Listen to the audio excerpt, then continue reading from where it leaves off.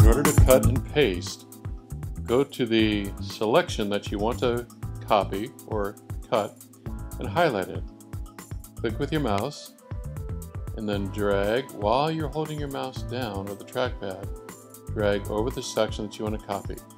Come up to the menu, click Edit, and then Copy. Then move to the program that you want to paste into. In this case, I'm going to do with Pages. My cursor is right where I want it. I'm going to come up, edit, and I'm going to, in this case, paste and match style.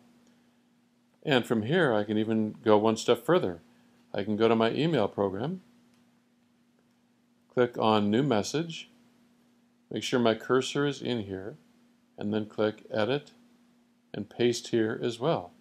So I have it pasted in my email program, and I have it pasted in pages in what is now an untitled document, all because I had it highlighted in Safari.